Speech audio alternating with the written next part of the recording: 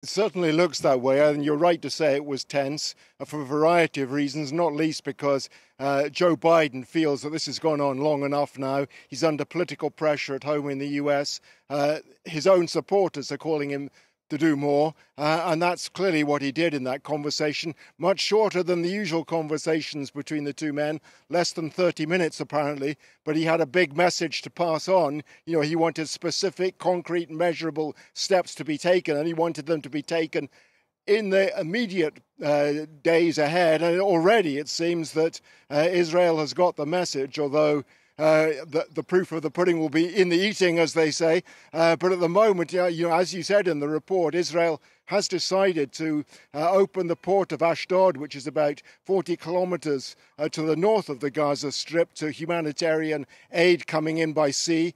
Uh, and also to open, this is really important, uh, the Erez crossing in the north. It, it was for a, lo- a, long time the only way that Palestinians could get in and out of the Gaza Strip.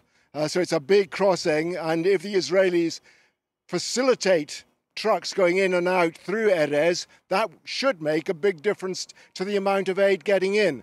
Uh, the other crossing is uh, down in the south, uh, Kerem Shalom, uh, which is uh, ma- making itself more available than it has been until now to Jordan- Jordanian lorries coming across Israel to get into uh, to the Gaza Strip. So those are three steps which, if applied immediately, uh, could make a significant difference to what is happening on the ground. It doesn't do anything, however, of course, about the fact the World Central Kitchen, which is the biggest operator after UNRWA, the United Nations Palestinian Refugee Organization in the Gaza Strip, has stopped operating at the moment because its operatives, because its workers were killed.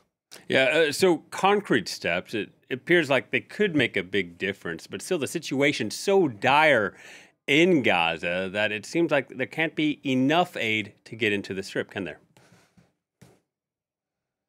I think that's absolutely right. If you look at the the average for the number of trucks getting into the Gaza Strip uh, in March, it was 159 per day.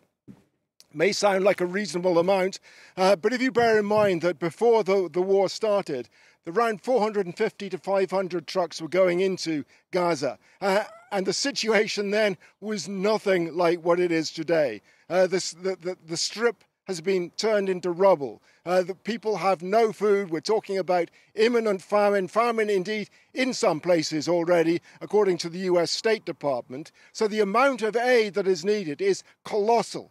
Uh, and the amount that's getting in is far from colossal. Uh, so although the, it's good that the Israelis have decided to move on the Erez crossing and Ashdod and Kerem Shalom, they also have to take steps to make sure that they facilitate uh, the, the transfer of trucks from Israeli territory uh, and Egyptian territory into the Gaza Strip. At the moment, they put in so many administrative barriers into getting across, so many checks into getting across, that the queues are enormous. I think that's one of the things that the Americans in particular will be pressing upon Israel.